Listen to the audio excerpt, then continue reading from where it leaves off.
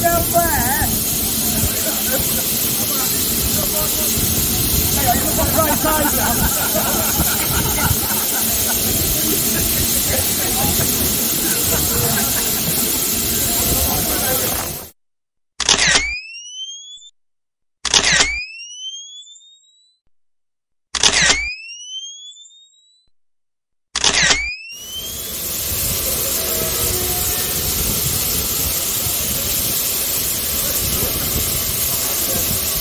Aí tem o teu.